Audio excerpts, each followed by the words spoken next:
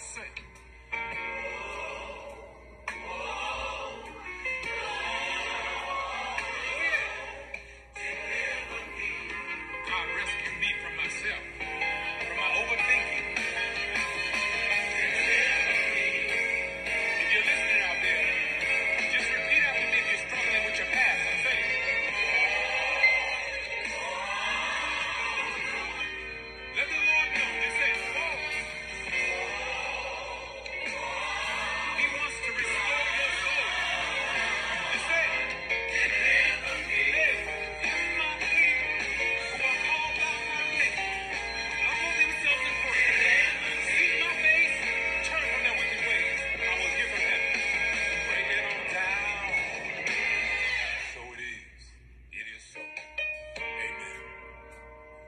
pray, we're going to end that with a declaration, a decree.